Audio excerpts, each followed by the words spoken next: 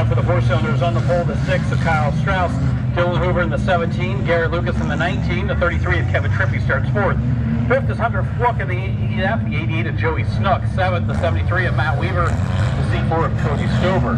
12K of Zach Klein, 15 of Kyle Stahl.